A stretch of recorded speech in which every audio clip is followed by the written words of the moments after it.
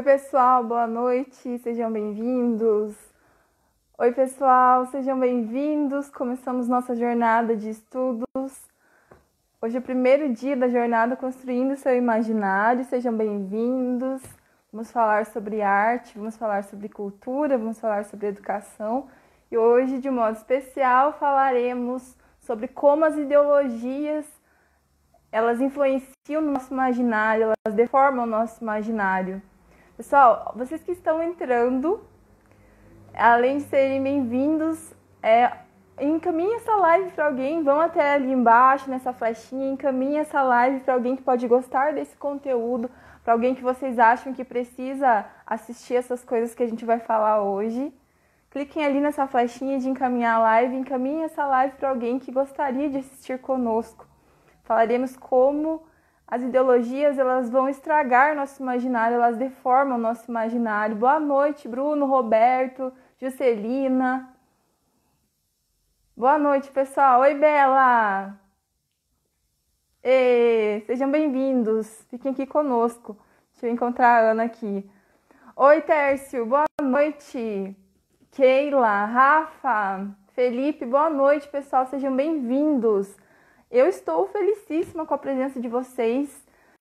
Estou animada. Temos três dias de lives aqui. Falaremos sobre belas artes, falaremos sobre cultura, falaremos sobre educação. E hoje eu vou receber uma pessoa muito especial e muito querida, que é a Ana Campanholo. Vamos encontrar a Ana aqui.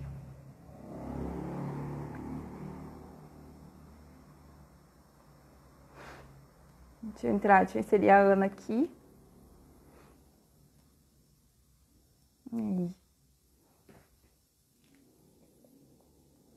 Estou fixando o tema, estarei fixando o tema. Vamos receber a Ana. Boa noite, pessoal, sejam bem-vindos.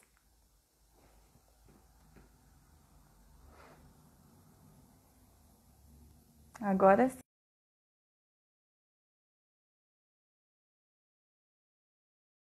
Quem que já entrou no grupo do Telegram, está acompanhando as coisas por lá, amanhã receberão um material didático. Ana, boa noite! Oi, Vivi! Seja bem-vinda, Ana! Que alegria, Ana! Seja bem-vinda aqui. Alegria toda minha, muito obrigada pelo convite, estou muito honrada e espero que seja um sucesso a proposta que você vai apresentar aqui pra gente. Continuar aprendendo com você depois da live, com certeza.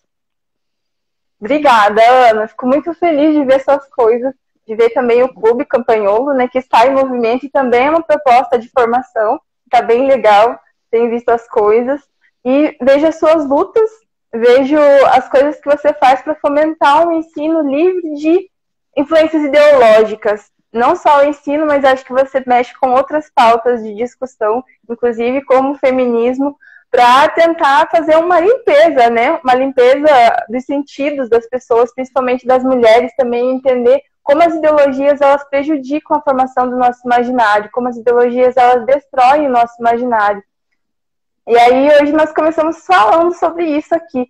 É o pessoal que está entrando, nós teremos uma sequência de três dias, de três lives com assuntos relacionados à formação do imaginário. Eu já vou deixar aqui avisado que é, a partir da terceira e última live eu ofertarei uma outra possibilidade de ensino para os estudos artísticos. Então, acontecerá um curso por aqui também. As pessoas que ficarem por aqui, além de acompanhar o material didático que vão receber durante esses três dias, vão poder entender mais essa outra proposta de ensino também. Ana, então, como que a gente entende de um começo de conversa, de um modo bem geral, como que a gente vê as ideologias infiltradas, é, principalmente na educação, Ana? Como que a gente consegue é, avaliar isso de dentro da sala de aula, porque você foi professora da educação básica, hoje você, eu acho que não exerce isso em virtude da sua nova função, mas que como que a gente consegue diagnosticar de um plano geral as pessoas que estão envolvidas na educação básica, sejam os alunos ou sejam os pais, como que a gente consegue filtrar, primeiro, para começo de conversa, filtrar as ideologias lá na educação básica? Bom, Vivi, você falou muito bem, isso mesmo. Eu não trabalho mais como professora desde que eu me elegi em 2018, finalzinho de 2018, mas eu trabalhei por 10 anos em escolas públicas e privadas com disciplinas de história, geografia, ensino religioso, em alguns momentos, claro, com certeza, convivendo com outras áreas das ciências humanas, com os professores. É, e em todos os níveis da educação, a gente vê um esforço de, de, de destruição é, do senso de belo e, do, e da própria imaginação da criança. Existe um livro que eu recomendo bastante, é, que eu sempre recomendo, inclusive na época em que eu tinha um canal, um vlog que eu era uma youtuber, né, há uns uhum. poucos anos atrás, é, eu cheguei a convidar uma, uma pessoa para apresentar esse livro. A Marcela San, Mar, San Martin apresentou lá no meu antigo canal, que se chama Vlogoteca, um livro chamado 10 Maneiras de Destruir a Imaginação do Seu Filho. E esse esforço de destruição do imaginário, ele começa desde a pequena infância, assim, desde a mais tenra infância, passa pelo ensino fundamental, médio e com certeza alcança a universidade, onde é absolutamente inquestionável que isso está acontecendo. Então, uh, sobre as universidades também tem um livro muito bom que toca no âmago da questão da arte, que é o livro do, do Kimball chamado Radicais nas Universidades. Nesse livro, Radicais nas Universidades, esse professor, ele denuncia, não sei se você conhece essa obra, ele denuncia como esquerdistas, pessoas de eh, ideólogos de esquerda, marxistas, enfim, heterodoxos, ortodoxos, eh, esquerdistas de toda sorte, influenciam a educação, a transmissão da educação artística, alterando sutilmente os currículos de literatura. No caso do professor Kimball, ele está falando de uma área que ele domina, que é a da literatura, mas evidentemente isso acontece também com artes cênicas, com qualquer coisa relacionada, com música, não precisa nem dizer isso, né? Pelo amor de Deus, num país onde a, o Pablo Vittar ganha o prêmio de melhor cantora, não tem que dizer mais nada, né? Mas esse livro do, do Kimball é muito impressionante porque ele trata dessa questão com sutileza. É, nesse, nessa obra Radicais das Universidades, ele conta que as obras mais clássicas, mais consagradas, elas vão sendo retiradas do currículo. Veja, não se trata nem de fazer um evento macaquinhos ou uma xereca satânica, aqueles dois eventos ridículos que já foram feitos em universidade. Oh. Né? Não se trata nem disso. Ele fala, existem coisas que são muito mais sutis do que isso, como por exemplo, você tirar uma obra clássica, você tirar uh, a Ilíada, você tirar Homero do currículo e no lugar do Homero você coloca A Cor Púrpura, que é um livro, né, é uma boa história, inclusive, mas é um livro feminista. Aí você tira uh, uma outra obra clássica fundamental, você tira Dostoiévski, você tira Tolstói, e você vai colocar, que são clássicos universais, e no lugar você vai colocando obras ideologizadas. Então, o que a gente mais encontra hoje, eu acho impressionante isso, quando a gente vai procurar um livro, qualquer livro, né, sobre literatura, sobre, assim, sei lá, ginástica feminista, você vai encontrar toda obra literária nova produzida que, que alcança o grande público, ela tem um viés do politicamente correto. E só isso daí já, seria, já é um ataque à, à obra literária, ao espírito literário. Porque o bom literato, ele está contando uma história com eficiência. Ele não tem que se preocupar em defender uma ideologia. E isso já foi retirado de dentro dos corações dos acadêmicos de letras. Eu sou pós-graduada em literatura portuguesa e durante um tempo eu cursei uma disciplina especial numa universidade federal sobre contos fantásticos. E eu fiquei absolutamente encantada com essa disciplina de contos fantásticos. Era uma disciplina especial apresentada para alunos que já estavam no décimo período de letras. Quando décimo período de letras, ou seja, bem adiantados, né? Já curso, vão isso. se formar Exatamente, já vão assumir uma sala de aula com 40 alunos lá todos os dias. Vão assumir uma sala de aula. E são, estão uhum. for, formando com cinco anos de trajetória literária. E eu me lembro que o professor, que era um professor assim maravilhoso, genial, ele pediu aos alunos que cada um deles analisasse um determinado conto. Pessoas da turma começaram a chorar, assim, que não sabiam analisar um conto mesmo ele tendo dado um exemplo e o conto. As pessoas não conseguiam caminhar. E eu me lembro que no seminário que nós tivemos, a, foi perguntado assim a cada um qual era o autor que a pessoa tinha, qual autor que o aluno tinha pegado para resenhar, para apresentar e tal. Tinha pessoas que não conseguiam falar Dostoiévski, que as pessoas elas nunca tinham ouvido falar de Dostoiévski. Aí a menina falava assim, a minha colega: Esse livro aqui, esse que eu peguei aqui, é dos Dostoiévski. Ai, professor, me desculpa, eu não sei falar esse nome desse cara. Como assim esse nome desse cara? Tipo, tudo bem, eu também não sei falar todos os nomes, eu, eu erro muitos nomes, mas isso quer dizer que ela não tinha visto Dostoiévski. Ela não sabia que ele existe. Eu, eu sabia fiquei... que ele existia. Nossa, eu fiquei muito chocada com isso. E aí, no fim das contas, eu percebi que tinha um outro aluno que sabia das coisas, né? Eu percebi, bom, esse cara aqui leu, ele, ele lê literatura, ele tá aqui Aí eu percebi que ele não era do curso também. Ele era um aluno que veio por interesse. Ou seja, os colegas, assim, de, eles não tinham domínio de quem era Tolstói, quem era Chekhov, eles não tinham ouvido falar de Dostoiévski. E assim, a menina achou que ele era tão desimportante que ela não precisava nem saber a pronúncia do nome dela, que era o tema do trabalho a ser apresentado por ela. Então a gente vê essa destruição das artes, ela acontece muito, muito por causa dessa manipulação ideológica dentro da universidade. E isso mata os talentos. Eu me lembro que perguntei ao professor: Professor, o senhor conhece Otto Maria Carpo? E eu pensei, ele vai responder que não, né? Era um professor, uh, um professor homossexual. Eu achei até que ele era esquerdista, né? Evidente, porque a gente já tá com, com essa pecha na cabeça, né? De que os homossexuais foram cooptados pelo movimento esquerdista. E o professor, ah, muito bom, eu conheço sim Otto Maria Carpo. Eu falei, meu Deus, ele conhece o Maria Carbo, tipo, e ele não tá falando mal. E eu perguntei, o senhor acha o que do Monteiro Lobato? Eu queria, eu queria sondar o professor, viu? Mas Monteiro Lobato, Lobato é uhum, é maravilhoso. Uhum. E tipo, hoje a gente pergunta sobre o Monteiro Lobato para testar se o professor é esquerdista. Porque se o professor esquerdista, no geral, ele vai, ele vai fazer uma crítica política ao Monteiro Lobato, em vez de dizer se a obra do cara é boa ou não. Então, isso, uhum. isso dominou a literatura. Eu vivi um pouco dessa experiência nessa disciplina especial, né, porque eu, eu gosto muito de literatura. Eu vivi isso é, na literatura também, mas acontece em absolutamente todas as áreas. E dentro da escola, esse processo de destruição do imaginário, da criatividade, ele vem desde o começo, porque são esses mesmos professores que passaram uma faculdade toda sendo doutrinados a, a avaliarem uma obra literária, uma obra artística, uma música, uhum, avaliar uhum. absolutamente tudo do ponto de vista uhum. ideológico. Esse conteúdo, essa música, essa obra, ela serve a algum propósito de transformação social esquerdista? Não. Ah, então não é importante. Então, isso joga no, no lixo inúmera, inúmeras obras. E eu penso que nós que somos conservadores, ou mesmo direitistas, a gente não, fa não deve fazer esse filtro existem escritores bons que são de esquerda. Eu, eu, por exemplo, eu gosto muitíssimo, muitíssimo, muitíssimo do Ariano Suassuna.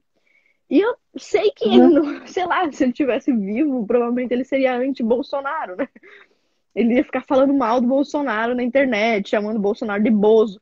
Mas a obra dele é cativante. Eu acho, eu acho maravilhosa. E há que se fazer essa distinção. Obrigado. É, e uhum. E, e esse ataque que a esquerda, que esses professores ideológicos fazem contra a, contra a cultura ocidental, ela é, é, é criminoso isso, porque assim, to, quando eles como que eles justificam isso? Eles vão para a sala de aula e dizem: nós temos que destruir o etnocentrismo, nós temos que destruir o eurocentrismo. Destruir o uhum. etnocentrismo e o eurocentrismo Bom, até poderia ser legal se o professor estivesse falando de destruir as péssimas características de um preconceito etnocêntrico. Mas não, ele está falando de destruir as riquezas da cultura eurocêntrica. Então ele está falando para a gente de jogar uh, gregos, romanos, uh, italianos, portugueses no Ora, lixo. É, e se você perguntar, por exemplo, na arte, é muito comum na arte contemporânea, da arte moderna para contemporânea, todos os cursos de arte no mundo, não falo só aqui no Brasil, eles são modernos. Até as academias de belas artes são modernistas, elas não têm mais um classicismo impregnado em nenhuma das linguagens da arte. Então, se você pergunta para um estudante de arte hoje, eu falo isso porque eu sou professora no curso de graduação em arte numa universidade pública, é, é, professora é, temporária, né? Então, eu vejo assim, os alunos falam que querem desconstruir Aí você pergunta o que que eles querem desconstruir, eles não sabem. Exatamente. Então, assim, eles não têm, eles não têm, é, não tem uma um, um, o imaginário não está formado seguindo uma linearidade da história da arte para dizer assim, aí eu não gosto do barroco, eu acho muito exagerado, eu vou desconstruir o barroco dentro disso. Então, é, não, é um ataque que nem mesmo se sabe é o que. entende? E assim, eu lembro que quando eu fiz, eu fiz duas licenciaturas, Paulo Freire, ó, na veia, sabe? Aí eu fiz é, pedagogia e depois fiz arte. E aí eu lembro que quando eu terminei as duas, eu tinha assim umas ideias balançando dentro da minha cabeça. Eu começava a achar que aquilo repetido por oito anos era comum, entende? É, eu, até hoje, sim, eu vejo que eu tenho umas travas ainda quando alguém me faz uma pergunta muito direta eu tendo a fazer uma enrolação antes de respondê-la, sabe? Isso é uma herança do sócio-construtivismo, de querer justificar com coisas do meu ambiente e tal, e eu fujo do assunto, entende? Então eu sou o tempo todo, é, fico me puxando para chamar atenção, assim. Mas, e, e, outra coisa, as pessoas não têm, não sabem qual que é essa riqueza cultural, ou da educação, ou de patrimônio cultural mesmo. É, é, de toda a Europa, de toda a antiguidade, do que, que a gente é, herdou disso tudo, por exemplo, o próprio barroco vindo para o Brasil, o barroco brasileiro é a coisa mais linda que existe. Ele pega os signos estéticos da, é, portugueses, antigos, espanhóis, italianos, e ele, ele se recria no Brasil à base de madeira, entende? Então, é outro, é outro material, assim, é o mesmo estilo, mas é outro material. Então, é, isso é o barroco brasileiro. As pessoas, não, mas vamos desconstruir, vamos desconstruir. Aí colocam nas mostras de arte que a gente vai hoje, isso é comum, isso é uma realidade. É, as pessoas nuas, é, crianças tocando nos órgãos sexuais de adultos nus, de adultos pelados, né? E essas são as performances de arte hoje, num tom de desconstrução. E eu acho que outra coisa também que é muito triste é a, a o, o ato de coagir os alunos é, eu fui, eu sou professora, mas eu sou aluna também. É, em um lugar eu sou aluna, eu sou professora. Então, coagir os alunos que pensam diferente disso, coagir os alunos que não entram numa, numa onda ideológica, isso é terrível. E você também viveu isso, né? Ah, não, com certeza. Mas isso em disciplinas políticas, em disciplinas de história, até assim, é, é até identificável, justificável, mas eu estava até reparando aqui nos comentários, o pessoal comentando, uma moça comentou que ela faz uma disciplina de teoria, da, teoria literária e que só são analisados teóricos marxistas. Né? Mas é basicamente isso, porque no curso de história, no curso de sociologia, o professor vem e fala para você o seguinte: isso aqui é marxismo, marxismo é lindo, é bonito, capitalismo é feio. Ele fala isso.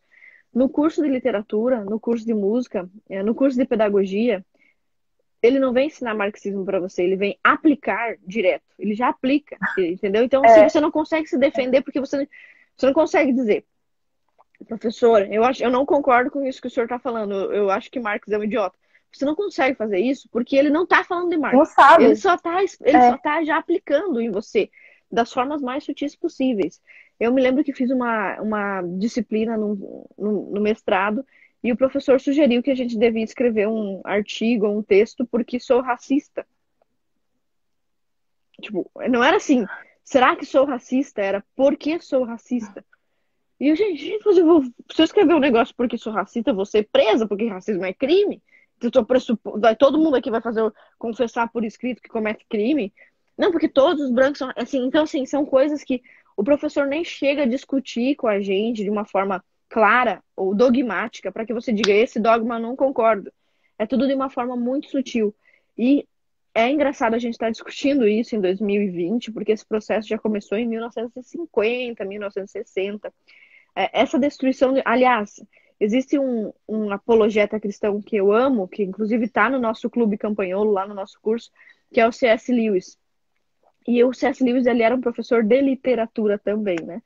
É, na verdade, ele era um professor de literatura inglesa, mas ele não era pastor, embora ele seja conhecido pelas suas obras religiosas uhum. e apologéticas. E, e uma das ó, melhores obras dele, na minha opinião, é A Abolição do Homem, e ele começa esse livro publicado em 1943, falando sobre como a doutrinação nas escolas de nível básico estava destruindo o imaginário das crianças. Ele usa alguns. Já naquele tempo. Meu, em 1953. E ele, e ele denuncia isso da seguinte forma: ele diz, olha, isso aqui é muito, muito, muito sutil, ninguém está percebendo. Eu estou denunciando isso daqui porque daqui a 20, 30 anos, ou seja, em 1970, as crianças já vão estar com as mentes debilitadas. E a preocupação dele em 1940 é um negócio que a gente está discutindo hoje em 2020. A gente fala para o pai e para a mãe: olha, eu sei que você precisa da escola, você tem que trabalhar, os dois cônjuges trabalham, os pais trabalham, você vai ter que mandar seu filho para a escola, mas olha, muitas escolas estão prestando tal desserviço. Só que a gente está falando isso para pais que já são vítimas desse desserviço, dessa fragilidade do imaginário. Esse livro que eu citei no começo, que foi um livro traduzido recentemente para o português, só existia em inglês, sobre a destruição do imaginário, ele tem um, uma continuação que se chama Como Destruir a Humanidade do Seu Filho. Então, assim, o, a nossa capacidade uhum. Imaginativa, né, criativa, ela tem muito a ver com a nossa, com a própria característica de ser um ser humano. Por isso que esse livro do Esalen, que esse do Destruição do Imaginário, ele casa tão bem com esse do C.S. Lewis, que foi escrito em 1943, os dois não se conhecem. Mas o que o C.S. Lewis nos diz é, quando você destrói a imaginação de alguém, você destrói a humanidade dessa pessoa. E anos depois vem o Anthony e publica esse livro sobre destruição do imaginário e da humanidade. E algumas coisas são muito impressionantes nesse livro. Por exemplo, é, nós um assunto que nós debatemos muito na política. É, questão de educação, de currículo educacional e tal. Bom, nem vamos falar que a BNCC é um absurdo já em si, só pelo fato de ser centralizadora, pelo fato de, de tentar apresentar um, um plano curricular para o Brasil todo, que já é absurdo. Mas a gente vai, a gente pode entrar no, nos métodos né, dessa BNCC, ou como é que se aplica. Então, um assunto que se discute muito é ideologia de gênero nos planos municipais, estaduais, na BNCC. Os nossos deputados federais brilhantemente derrubaram a expressão ideologia de gênero lá de cima do Congresso, mas essa expressão continuou voltando por baixo aqui, né? E para ensinar isso, para justificar isso, os professores usam sempre a disciplina de educação sexual. Eu não quero falar aqui nem sobre ideologia, não vou falar sobre ideologia de gênero, mas sobre como se usa a educação sexual para destruir a capacidade humana de amar. Porque é a mesma coisa que se faz na arte. É esse exemplo da educação sexual maravilhosa. O é, Anthony, nesse livro dele, 10 maneiras de destruir a imaginação do seu filho, ele fala muito sobre isso. Como você destrói a capacidade de amar, de namorar, de se casar, de ter uma família de uma pessoa. Você começa a falar com essa pessoa sobre o sexo sempre do ponto de vista científico sempre do ponto de vista técnico. Então, assim, você junta uma sala de aula com crianças de 8 anos, de 10 anos, e você vai explicar para ela que sexo é penetrar um pênis em uma vagina com movimento de fricção. Cara, você matou o sexo. Tipo assim, até uma pessoa normal até perde a uhum. vontade ouvindo um negócio desse. É, e aí o, o Anthony, nesse livro, vai trazer pra gente o seguinte: se matou por por trás de todos, os, de todos os assuntos que se explica hoje em dia, se matou a poesia por trás, o belo por trás. Então, quando você vai explicar o Sol, o Sol é só mais uma estrela. E é, não é a maior estrela do universo, ela é uma estrela menor. Inclusive, existem 10 milhões de estrelas maior do que o Sol. O Sol é apenas uma bola quente. Pô, não, o Sol é símbolo de vida. Por causa do Sol, as plantinhas crescem. Então, assim, isso é uma formação que você coloca na criança desde pequena. Por que, que a gente conta para criança? Porque a gente fala de contos de fadas. Porque eu não tenho como explicar para as crianças o mito do Eros e da Psique. Eu não tenho como explicar para a criança questões da alma e da beleza. Então eu faço uma historinha mágica, bonita, e depois eu vou apresentando os conceitos e a criança vai conseguindo assimilar. Esse trabalho dos professores é um trabalho materialista que nem eles não se percebem.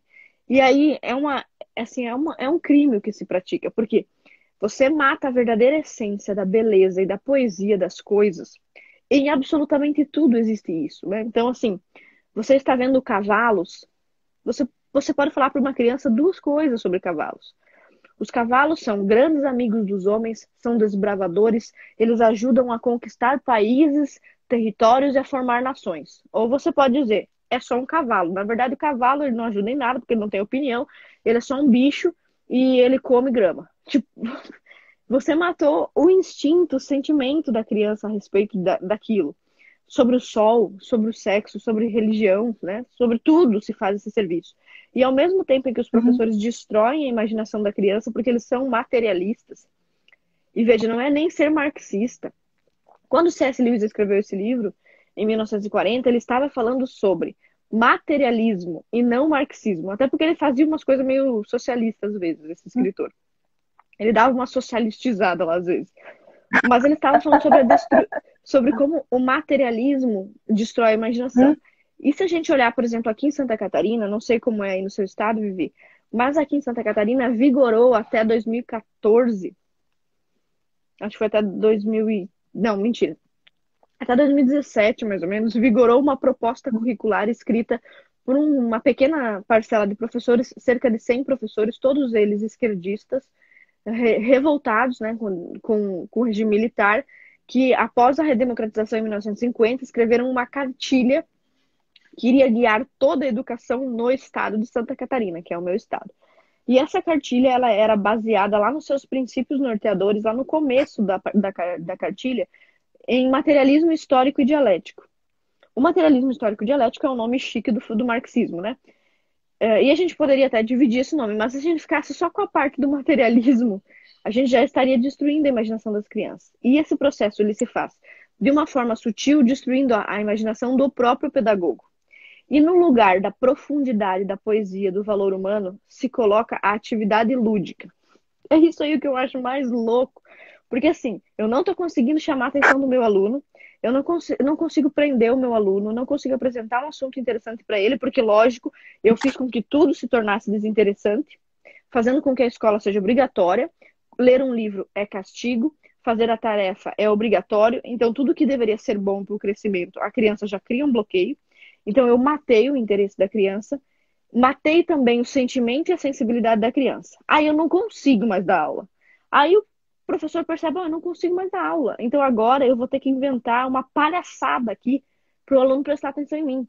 E aí entram as supostas atividades lúdicas, que no geral é um contorcionismo do professor para apresentar um substituto da verdadeira riqueza da imaginação, da poesia, da sensibilidade, da profundidade. Ou seja, não só estragar as crianças, daí não conseguem trabalhar com as crianças depois que elas estão desanimadas e desestimuladas, e aí criam simulacros e mentiras de estímulos falsos ou muito rasos para as crianças. Elas, mesmo sendo crianças, tipo, em cinco minutos, a criança cansa da atividade lúdica, porque aquela não é uma atividade porque... carregada de sentido. É e ela não tem uma ligação com o conteúdo que a escola deveria passar naquele momento. Ela não consegue ter. É uma viagem mesmo, é um passatempo, entende?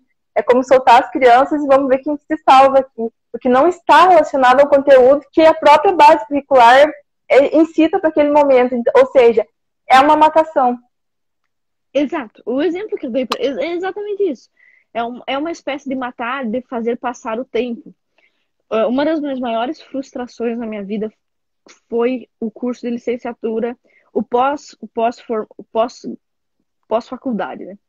Eu estudei história, fiz faculdade de história porque eu amo história. Na verdade, eu amo ler. Então, como na época da escola, a única disciplina que a professora cobrava que se lesse fosse, era história, porque se você não, não lesse, você não conseguia responder as questões. O professor de geografia dava uma enrolada, fazia uma maquete, o professor do português ajudava, fazia prova com consulta. Aconteceu comigo que a única disciplina que tinha que ler e estudar era, era história. professora Glenda, não sei nem, ela me segue até hoje. Eu não sei se a professora Glenda sabe disso. Professora Glenda Brum era professora de história. E ela era maravilhosa, é, professora do, do, da escola adventista. E eu amei, me apaixonei por história na época do ensino médio. Eu me lembro até hoje que eu lia, relia e tal. Aí eu fui para a faculdade e pensei, meu Deus, a minha vida vai ser um sonho, porque eu vou estudar o que eu amo e eu vou ensinar o que eu gosto. E outras pessoas vão aprender a mesma coisa que eu gosto de aprender. Meu Deus, que decepção. Primeiro que não me ensinaram história. Era teoria da história, filosofia da história, LDB, diretrizes básicas da educação, filosofia da história, psicologia da história, psicologia da educação. Era assim, todas as disciplinas possíveis do currículo, uhum. pouquíssimas sobre história. Por exemplo, história do Oriente, não teve uma disciplina. Aí, quando teve uma disciplina sobre história do século XXI, era só um capítulo do livro do Eric Robesbaum. E assim, eu tenho certeza que muitos colegas meus se formaram sem saber o que era uma república, sem saber defender, definir federalismo, uhum. sem saber defender parlamentarismo. Então a gente, e eu tinha assim uma parcela enorme de colegas que fumam maconha o curso inteiro. Eu não sei como esse cara se, se formou, mas enfim, para você ter uma, uma ideia das coisas que aconteciam. Então foi uma uhum, uhum. tremenda frustração, porque eu não, não aprendi história de verdade, só aprendi história dogmatizada. Eu tinha, para você ter uma ideia, duas professoras que eram lésbicas e casadas entre si, uma professora que dava aula em espanhol, porque ela tinha fugido da perseguição da perseguição fascista na Argentina, uma professora. Caramba! Que, um professor que era marido de uma deputada de esquerda. Era todos os professores de esquerda, todo o conteúdo era enviesado, mas até aí tudo bem. Aí a frustração pior foi o seguinte: eu achei, bom, agora eu me formei, eu vou estudar tudo que eu quiser de história, eu vou ler tudo que eu quiser e depois eu vou para a sala de aula ensinar. Quem disse que eu vou ensinar o quê? Você não vai ensinar nada, as crianças não estão interessadas mais em aprender. Elas foram desestimuladas, alguma coisa aconteceu com elas. Entre os 6 e os 16 anos, alguma coisa acontece. Porque quanto menores as crianças, mais interesse elas têm.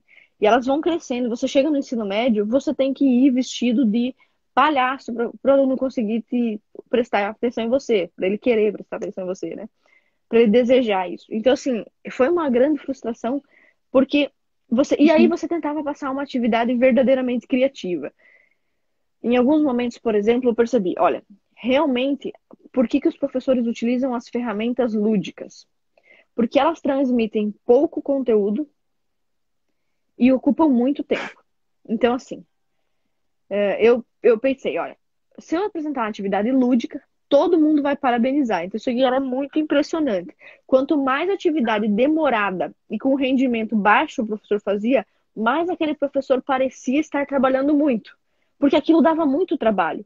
Por exemplo, todo mundo vai fazer uma maquete sobre um feudo. Pô, isso aí leva a maquete, para fazer uma maquete de um feudo com uma turma de crianças, leva um mês. E depois de um mês você aprendeu apenas o que, que é um mapa de um feudo. É assim, absurdo. Mas enfim. E aí eu percebi que se eu quisesse trazer os alunos, chamar a atenção deles, eu teria que fazer atividades alternativas. E eu fazia essas atividades alternativas é, com desenhos, etc. Um exemplo para eu, eu, apresentar para você. É, eu ensinei para os alunos a, a história do feudalismo usando um tabuleiro de xadrez. Então eu dizia: os peões do xadrez, vai, eles vai. são eles são os, o, o camponês. O bispo representa o clero. Os cavalos representam a cavalaria, que é, ou seja, o, o exército do feudo, que ele era muito importante, porque desde a invasão dos vikings havia muita violência fora do feudo. Os senhores feudais ajudavam o rei quando tinha uma guerra entre um país e, um país e outro.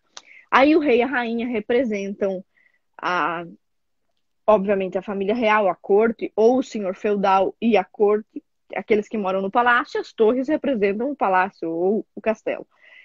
Ok, aí eu apresentava isso para as crianças e depois eu apresentei para elas contos fantásticos, contos. Aí eu disse para elas o seguinte: vocês vão criar agora atividade da aula valendo 50% da nota do bimestre, para que a prova valesse menos, porque eles tinham pavor de prova. Uhum. Então eu, eu apresentei para eles vários contos, como por exemplo, o pessoal que está assistindo a gente aqui, Procure por esse conto que é muito divertido. O Pé de Zimbro. É um conto meio macabro, assim, mas as crianças adoravam. Então eu contava para elas o conto do Pé do Zimbro. Eu sabia que elas já conheciam, por exemplo, Cinderela, Branca de Neve. Esses contos que podem, que tem príncipe e princesa, podem ser ambientados num clima uhum. feudal. E aí a atividade que eu passava para elas era a seguinte: a partir de agora, então, vocês têm duas semanas para entregarem para a prof. Aí eu fazia um livrinho, dobrava a folha no meio com papel colorido.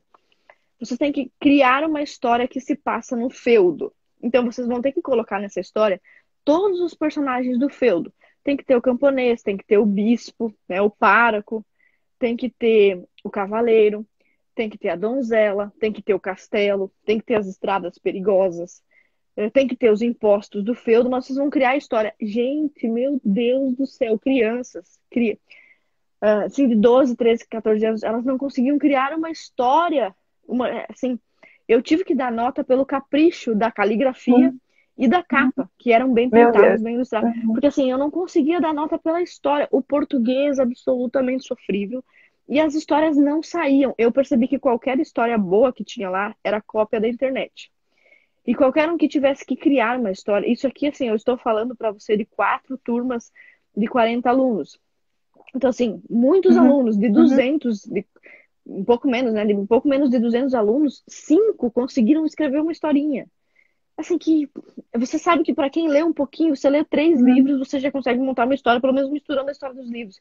Então, imaginação... Quem assiste dois, três filmes já consegue fazer isso. Quem assiste filme consegue isso. Quem vê obra de arte consegue fazer isso. Quem escuta a música consegue pegar é referência de narrativa, tudo é repertório, tudo é referência. Ou seja, seus alunos, como a maioria dos outros, não têm imaginário formado. Não, é, é, exato, eles não têm imaginário, eles estão perdendo a humanidade. Eles não se interessam por coisas, por sentimentos reais. Todos os sentimentos que você uhum. vê esses alunos esboçarem, eles são. Eles já passaram por um filtro ideológico. Então, assim, algumas crianças escreveram histórias sobre o feudo, cuja narrativa da história era o bullying no feudo. Gente, por que Deus. ela falou de bullying no feudo? Ela relacionou o bullying, que é um assunto que ficam indo para a escola toda hora fazer palestra contra o bullying. Uhum. Aquilo era um assunto que estava na cabeça da criança e ela falou que os camponeses sofriam bullying. Gente, mas que, esse conceito, assim, olha qual era a preocupação da criança, o bullying, ela não passou pela cabeça dela. que é, naquela altura as pessoas davam a vida por um objetivo, Exato. né? Davam a vida por outra pessoa. Bullying é o caramba, não existia isso. Isso, as crianças não conseguiam pensar o conceito de fidelidade, de honra, de juramento, de dar a vida pelo feudo, de um príncipe que morria para salvar uma princesa, uma coisa assim, qualquer coisa. Não, eles não conseguiam passar disso daí. Aí tinha uma personagem que ela era muito gorda no feudo, daí a coitadinha sofria muito bullying. Aí veio uma fada e transformou outras pessoas em gordas também. Tipo assim. Ou seja, olha o drama que a criança é submetida. O drama de ser uhum. gordo, de ser baixinho, de ser feio, do bullying acabou. Gente, a humanidade não é isso, entendeu? A humanidade é justamente conviver com isso e fazer coisas grandes. É difícil que essas crianças consigam pensar coisas grandes. E assim, quando você fala. Reais, elas não. Exato não estão ligadas na realidade, elas vivem em um mundo artificial. Elas foram educadas desde cedo com celular, com televisão, com outras coisas, é, sem a presença real dos pais, sem experiências sensoriais reais é, de, de processo criativo, né, de inventar as coisas. E aí vivem num mundo artificial e o que sai é artificial também. Não estão ligadas à realidade. O imaginário das crianças está deformado numa, numa perspectiva artificial. Elas não estão ligadas à realidade. É, até porque, é, Vivi, é muito mais fácil para qualquer professor, inclusive para mim, para qualquer professor, é muito mais fácil você entrar na sala de aula com uma doutrinação ideológica do que cumprindo o papel para o qual você foi contratado. Então, eu vou te dar um exemplo. Você é um professor de português. No nível em que as nossas crianças estão, que elas não sabem o que é um predicado, o que é um sujeito, elas não sabem o que é um verbo, um verbo nesse nível de compreensão tão rasteiro, é mais fácil eu pegar um poema sobre o sofrimento, um poema sobre bullying, aí eu digo lá no currículo. Estamos estudando poética, poesia e poemas. Né? Eu digo isso no uhum. currículo. Mas não estou estudando poema. Eu simplesmente peguei um, uma poesia sobre bullying e passei para criança. Uma poesia sobre bullying. Eu estou ensinando é bullying. Aí eu faço a minha aula inteira dizendo nós temos que nos respeitar, todos somos iguais, e eu não ensino uma vírgula de métrica para criança. Eu não explico para ela uhum. o que é uma cacofonia, eu não explico para ela o que é um poema, ela não sabe a diferença entre um poema, uma poesia, uma fábula, uma, uma epopeia, porque é mais fácil eu falar de, desses assuntos do populacho e do politicamente correto do que eu ensinar a minha disciplina. O, o, o professor que ele, tá, que ele está doutrinando, ele está, na minha opinião, pegando o caminho mais fácil para receber o salário dele sem ter que cumprir a função para a qual foi contratado. Então é muito mais fácil também para um professor de história, por exemplo, em vez de ele conseguir explicar para a criança por quais motivos aconteceu a Guerra das Duas Rosas, quais são as duas etapas da Revolução Francesa, por que nazistas entraram em guerra contra os russos em um determinado momento, por que se assinou o Pacto Ribbentrop-Molotov, a criança, elas realmente não estão muito interessadas nisso, então é muito impossível fazer isso. Então, o que, que é mais fácil fazer na disciplina? Eu pego e digo que eu estou ensinando Segunda Guerra, mas na verdade eu só fico dizendo que nazismo é feio, nazismo é bobo e o Bolsonaro é nazista. Isso é muito mais fácil de fazer. Isso é muito mais fácil. Nazismo é assim, gente, é não gostar de negros e não gostar de homossexuais e, e perseguir as pessoas.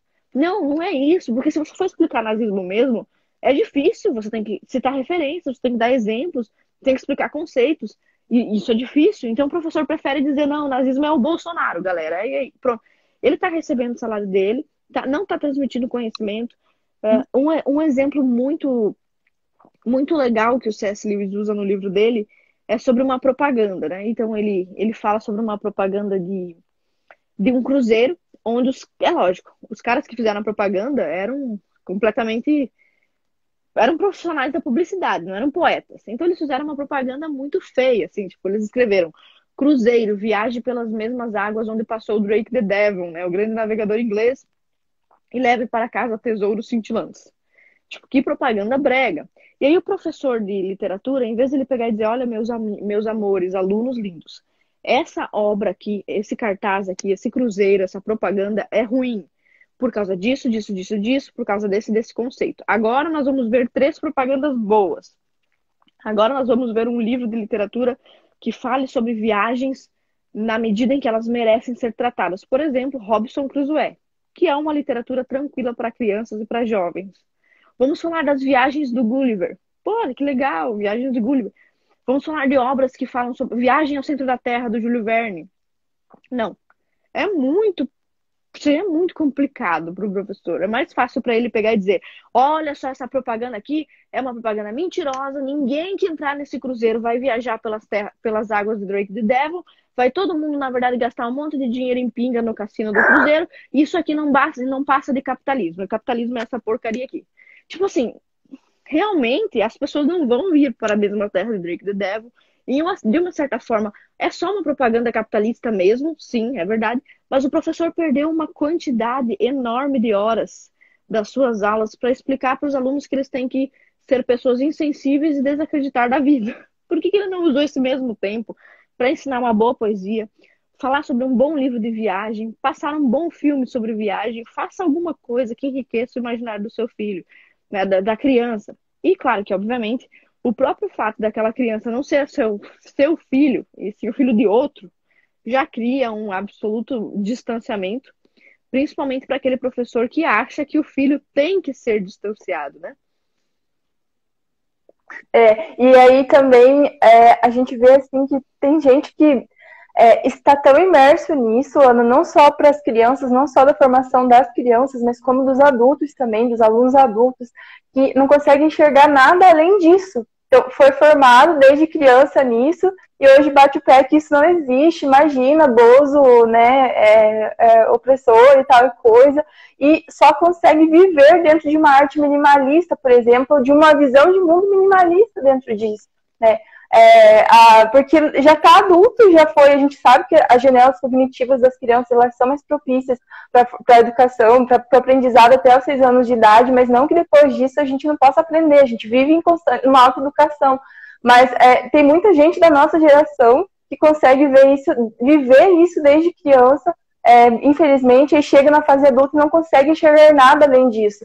E aí nós vemos que isso se reflete, essa, essa as questões ideológicas, elas refletem numa crise vocacional muito grande. Primeiro da pessoa, consigo mesma, assim, a pessoa perdida, a pessoa insatisfeita com as coisas, né, ou que vive, assim, é, prejudicando os outros e prejudicando a si mesmo, se auto-sabotando, porque não teve uma base bem formada, não teve uma estrutura bem formada. Então, isso desponta primeiro numa crise vocacional, que ela é pessoal, e depois ela desponta na vida com as outras pessoas, ou seja, em relacionamento, numa vida conjugal, entre as amizades, ou entre a família, o pai e a mãe, né, não se dá bem com o pai porque uh, tal coisa, não se dá bem com a mãe, né, não tem uma capacidade de estar ligado à realidade. Então, é, isso essa, essa é uma deformação que se dá no processo de formação ali, no decorrer da vida, se dá gradativamente, mas que interfere em outros âmbitos da realidade, da vida real. A pessoa não consegue ver além daquilo. Né? E geralmente é pessoas que, conseguem, que ficam se auto-sabotando, sabotando os outros sabotando a si mesmo. Isso é, é realmente muito triste. Também faz parte de um movimento é um fenômeno cultural que a gente vive na pós-modernidade, que é o tempo que a gente está agora, que é uma onda do descartável, que é uma onda de pluralidade, de identidade, de cultura, ou seja, nós temos uma liberdade de ser e fazer várias coisas ao mesmo tempo, de assumir várias identidades. Mas isso tudo tem um lado de um, como os próprios, vamos assim, usar uma, um termo de honestidade intelectual, né? os próprios estudiosos do tema da cultura tratam a pós-modernidade como um tempo caótico, então, os estudiosos desse tempo, as pessoas que se debruçam a estudar esse tempo por décadas, né, é, já falam que esse tempo é um tempo do caos, do conflito, né, de uma descartabilidade, uma solubilidade, a modernidade líquida. É, então, não tem muito o que fazer. Então, ou nós nos agarramos a alguns exemplos é, alguns exemplos de dentro, é, de dentro disso que você começou a comentar agora, começou a comentar antes, por exemplo. Por que não trabalhar mais os contos de fadas com as crianças? Por que, que a gente não coloca as belas artes na formação de todo mundo? Por que, que precisa ser só uma perspectiva de arte voltada para a pós-modernidade, voltada, é, não sei, mas as linguagens performáticas elas tomaram conta assim é, de um espaço muito maior do que outras linguagens artísticas, sabe? Tem um desequilíbrio na produção de arte. Então, é fomentado um, uma arte que precise daquela nota de rodapé de mais ou menos o tamanho de um artigo ao lado, explicando o que, é aquela obra, sabe? Porque a arte pela arte não, não, não se sustenta, porque não é uma arte é, esdrúxula, né? É uma arte pobre, então ela não se sustenta. Ela precisa de uma nota explicativa do lado, dizendo por que, que aquela arte é a arte, entende? Então, é, não existe mais essa preocupação com a estética, não existe mais essa preocupação com a aparência. Então, a beleza, ela é conscientemente rejeitada, é, rejeitada pelos, pelos, pelos artistas, pelos estudiosos da arte. É uma escolha consciente, né? Não fazer mais coisas belas, não fazer mais coisas que associem a beleza, ao bem, à verdade. Isso é uma escolha consciente. Então, aí entra acho que a consciência de si mesmo, a consciência assim, da sua vocação, de entender qual que é o teu chamado, qual que é, para que, que você está vivo, né? Qual que é o tema da sua vida, como que a gente descobre isso. Conseguir olhar para dentro de si mesmo com calma, né? Fazer um percurso e entender o que, que te atrai, o que, que você realiza com mais naturalidade, com mais alegria, com mais amor, e se debruçar sobre aquilo, mas é, conseguir é, pegar modelos que ajudem a formar o nosso imaginário, não deformar o nosso imaginário é, independente do que a gente vive na educação básica, independente do que a gente possa viver nas instituições de ensino, mas traçar um processo de autoeducação tentando olhar, olhar livre de ideologias. É, não sei, eu olho para a arte, essa jornada de estudos aqui se volta mais para as belas artes, eu olho para a arte e consigo olhar a arte pela arte é, em momentos em que a, a beleza associada ao bem, à verdade, favorecia a vida das pessoas sabe? Não uma beleza que seduz, uma beleza que prejudica, mas uma beleza associada a um olhar transcendente, além da matéria, entende? Não só o objeto estético com aquilo, mas com a substância daquilo, a narrativa poética que se perdeu, que você já comentou agora, que se perdeu, essa capacidade criativa de olhar para uma narrativa poética das coisas.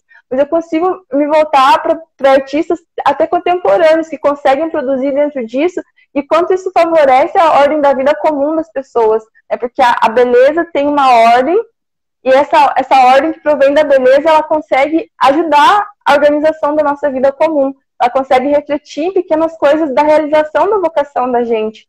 Né? E acho que se fosse para a gente continuar é, falando de ideologia, acho que entra. É, tem muita coisa também, a gente consegue comentar um pouquinho aqui é, a respeito do feminismo. Ana, queria pelo menos que você mencionasse alguma coisa pelo teu livro que é tão, tão importante para gente, que eu acho que isso também prejudica para caramba a, essa ordem da vida comum, assim, essa percepção da realidade, sabe? Eu, pelo menos, é, ouvi muito por muito tempo da minha vida, eu mesma assim, cheguei a, a balançar algumas ideias, sabe? Entender que Uh, sei lá, o casamento heteronormativo é prejudicial para a mulher, que é, é o machismo opressor, essas coisas todas nós ouvimos. Eu gostaria que você comentasse um pouco como que a gente consegue fazer essa limpeza também, ou, ou, ou tentar passar livre, livre dessas coisas, passar batido dessas coisas. Eu quero falar sim sobre o meu livro, mas eu queria só dois minutos antes disso responder duas questões que, que o pessoal está levantando aqui nos comentários. Primeiro que tem muita tá. gente perguntando sobre o Escola Sem Partido. E segundo que teve uma moça que comentou aqui também, por que vocês ficam criticando a, as ideologias se o conservadorismo e o antifeminismo são ideologias também? Não. Primeiro que o antifeminismo ele é uma anti-ideologia, né? A menos que você resolva viver toda a sua vida com base no antifeminismo, aí isso se, torna, se tornaria uma ideologia, o que é meio estranho, já que não existe essa ideologia, né? É, o antifeminismo, na verdade, é a negação de uma ideologia e não uma nova ideologia, até porque não existe uma pensadora antifeminista que tenha escrito livro clássico sobre o que é o antifeminismo. Então, é uma coisa que na verdade não existe. A mesma coisa cabe para o conservadorismo, que não é uma ideologia oposta à esquerda. O conservadorismo é o desprezo à ideologia e o apreço à verdade como um conceito objetivo. Uma das grandes diferenças entre a esquerda e a direita é que a maior parte dos, dos uh, correligionários de, de esquerda, eles entendem que a verdade é relativa e que a verdade está com uma classe ou com outra, na verdade que a verdade está com os revolucionários. Então, é uma verdade que serve a, inter, a interesses políticos, é uma verdade relativa, uma verdade subjetiva. E o conservador entende que a verdade é objetiva, é uma coisa que, por mais que eu não goste, ela está lá, ela brilha como o sol, e ou eu aceito ou eu nego, mas a verdade é uma coisa longe de mim, que não depende de mim nem da minha subjetividade. Então, assim, o conservadorismo não é uma outra ideologia, e sim a ausência de, ou a luta contra as ideologias. E a segunda questão é da escola sem partido. Alguém perguntou aqui. É, olhar para o direito, é só uma coisa, é olhar para o direito natural, por exemplo. Exato, né? não, não depende de ideologia. E para quem está perguntando o nome do conto, vou repetir: O Pé de Zimbro. O Pé de Zimbro, tá. E aí, duas pessoas aqui discutindo, apareceu um cara chamado Diogo eu não sei o nick dele completo, porque eu tive a satisfação de me esquecer. Mas assim, o cara comentou as coisas mais ignorantes possíveis aqui nos comentários. Uh, e ele disse assim: por que, que em vez de defenderem escola sem partido, não defendem igreja sem partido? Meu senhor. Tá. Olha só. Essa questão levantada pelo Diogo, nós estamos falando aqui sobre como a ideologia prejudica as crianças ou a educação. Bem, olha como o, o Diogo tá perdidão na vida. Ele tá assim, muito perdido, Diogo. Você tá perdido na tua vida, entendeu? Porque a escola pública, ela é compulsória e pública. Ela é um lugar para onde todos os cidadãos brasileiros são obrigados, é um lugar onde os cidadãos são obrigados a colocar crianças para estudar. Então, nós estamos falando de, segundo o Estatuto da Criança e do Adolescente, nós estamos falando de vulneráveis, de pessoas com imaginário e moral em formação, de pessoas com personalidade e informação sendo obrigadas a ouvir uma série de argumentos impostos pelo Estado compulsoriamente. Então, você está pegando crianças vulneráveis, as pessoas mais vulneráveis, e colocando elas debaixo do poder gigantesco do Estado. A igreja, diferentemente disso, ela é uma iniciativa que vem do povo. É uma iniciativa privada. Então, eu posso criar a igreja do, do cogumelo verde voador. Tem um problema nisso? Nenhum. Isso é doutrinação? Não, porque a igreja é um lugar onde você vai se quiser. Então a igreja sem partido não, não existe. A igreja tem que ter partido, porque a igreja ela é obrigada a falar sobre um dogma, sobre uma doutrina. Não é para fazer uma, uma igreja sem doutrina. Igreja sem doutrina não existe. Fecha, isso aí não presta.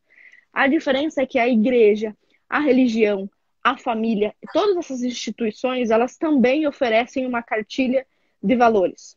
Só que essas são escolhas que você faz. Você pode simplesmente, o pastor está falando bobagem, você vira suas costas para o pastor e vai embora.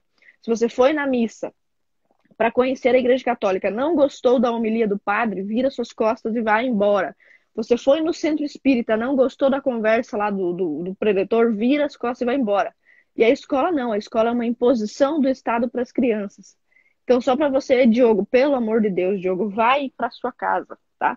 Então, agora, respondendo a sua pergunta sobre o feminismo, não sei quanto tempo a gente tem ainda, acho que temos dois ou três minutos. Olhar aqui. Exatamente. Pouquíssimo tempo, né? É, bom, eu falo sobre. Nos quatro primeiros capítulos do livro, eu falo sobre a história do feminismo. Mas o que poderia ser mais interessante para a gente aqui seria o capítulo 5, onde eu falo sobre algumas pequenas estratégias do movimento feminista para atacar o que a gente considera ser a civilização ocidental, né?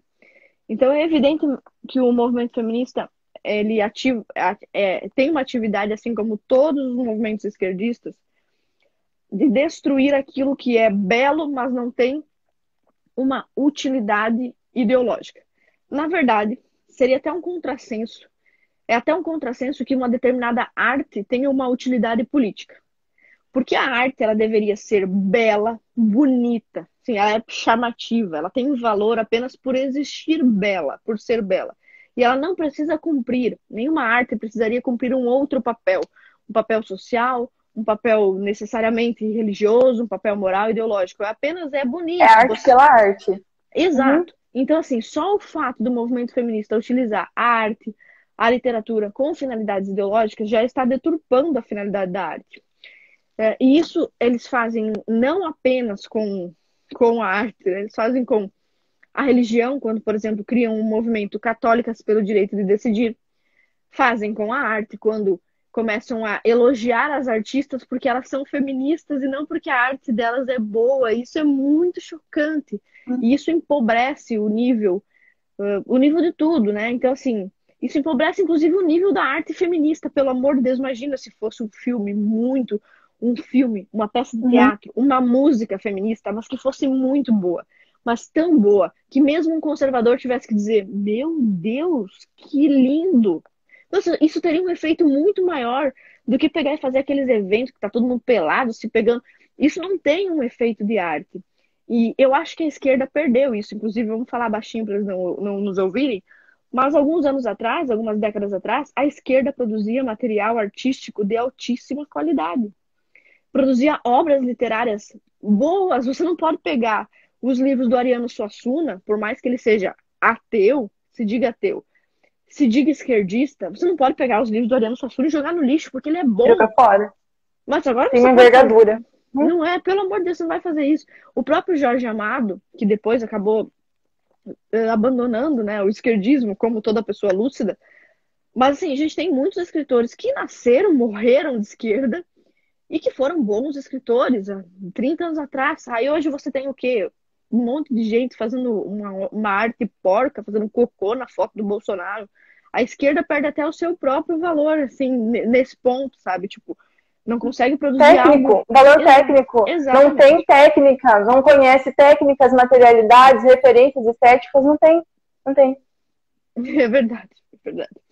Uh, Vivi, não sei, acho que vão cortar nossa live daqui a é, pouco. Esse é nosso tempo, é, esse é nosso tempo, tá encerrando aqui. Eu quero te agradecer, Ana. A gente deve ter meio segundo aqui, meio minuto aqui para falar. Ana, eu quero te agradecer muito por ter ficado comigo aqui hoje, no primeiro dia dessa jornada de estudos. Acho que as pessoas vão aproveitar muito a live, muitas coisas que você falou aqui. É, vão, vão ver os livros, as referências, tudo mais. A nossa live ficará salva aqui no meu perfil por 24 horas. Então, quem quiser é, rever ela, estudar, vai ficar aqui por 24 horas, depois já era. Então, e tem um link no meu, na minha biografia também com um canal do Telegram que vocês podem se inscrever e receber alguns materiais extras dessa jornada, desses três dias de estudo por aqui. Pessoal, também obrigada por ficarem conosco, obrigada pela paciência de vocês em ficarem aqui. E Ana, de coração, ó, obrigada mesmo. Você é, trouxe muita coisa muito valiosa pra gente aqui nessa noite.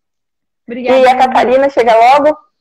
Chega, tá explodindo a mamãe aqui. Tomara que chegue logo, eu não aguento mais. Não aguento mais. Quero ver logo a minha então, filha. Mas... Registro... Muito obrigada. Obrigada, no registro da live com a Ana e com a Catarina, então, aqui. Até mais. Obrigada, Ana. Fiquem com Deus. Até mais. Pessoal, fiquem com Deus. Até amanhã, às nove e meia também, 21h30.